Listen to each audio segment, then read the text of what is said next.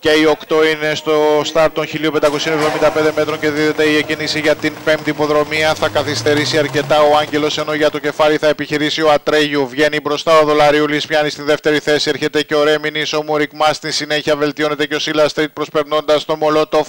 Ενώ βελτιώνεται και από την εσωτερική ο Τζούνιπερ. Ο Μολότοφ θα μείνει πρώτο τελευταίος. Τελευταίος είναι ο Άγγελος που με τη σειρά του θέλει να βελτιωθεί. Πάμε στα πρώτα μέτρα της διαδρομής και όπως βλέπετε από μέσο δολαριούλη συνεχίζοντας είναι αυτός που θέλει να περάσει μπροστά δίπλα το ακριβώς τρέχοντας δεύτερη ρόδα βρίσκεται ο Ατρέγιου πίσω τους τρίτη ρόδα βρίσκεται και ο Ρέμινης.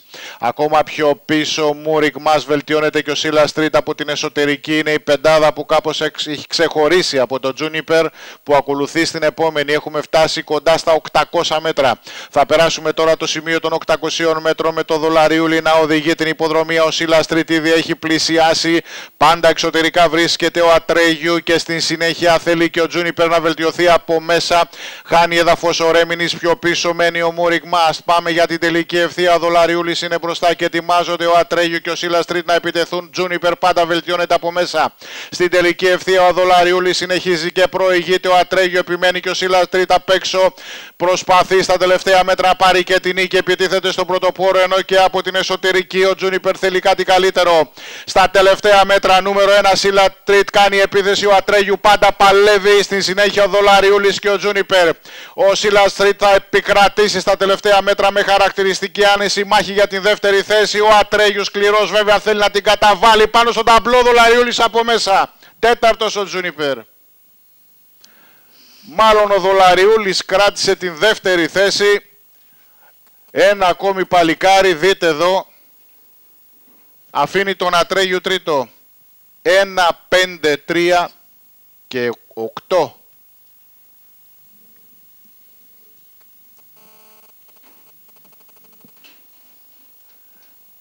Είπαμε, ο Δολαριούλης είναι ένα φοβερά σκληρό άλογο, ιδιαίτερα όταν πηγαίνει στο κεφάλι και σε αυτά τα μέτρα 80% επιτυχία πρωτοδεύτερος. Σήμερα νομίζω ότι άλλη μια φορά έδειξε την ποιότητά του, ότι ήταν πολύ δυνατός, ήθελε να είναι κοντά εκεί με τους πρώτους και μετά να κάνει την επίθεσή του. Θέλουμε να μας πει και ο Μιχάλης μετά όταν θα έρθει, κοιτούσε δεξιά του τι γίνεται και απλά έφευγε μπροστά.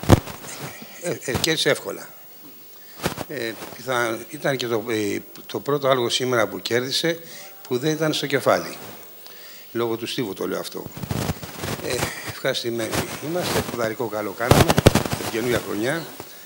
Ε, μακάρι να συνεχίσουμε έτσι. Αυτό θέλουμε. Φαίνεται ότι έχει ανακάμψει μετά την τελευταία του προετοιμασία. Έχει ανακάμψει πολύ. Έχεις είσαι πολύ ενημερωμένη. Πραγματικά έχει ανακάμψει. και επίσης ε, ευχαριστούμε και για τη χθεσινή βραδιά που μας χάρισε η Φίλιππος Ένωση με πρόεδρο του Γιάννη το Μητυλινέο. Ήταν πολύ ωραία στις Μέλισσες. Πέρασαν πολύ ωραία. Και σήμερα συμπληρώθηκε του Παλμαρέ. Όχι, σήμερα τρέξαμε σε μια απόσταση που είναι ε, στα μέτρα μας, εισαγωγικά. Ε, βρήκα το χρόνο, παρά, παρότι που έφυγε πάλι λίγο διστακτικά, βρήκα το χρόνο να το φρεσκάρω αυτή τη φορά, να του δώσω κάποιες ανάσες. Παρά τα κιλά που χάριζε σε όλα τα άλογα, τον είδατε ότι στα παραπάνω μέτρα με τη βοήθεια αυτή, νομίζω είναι, είναι καταπληκτικός.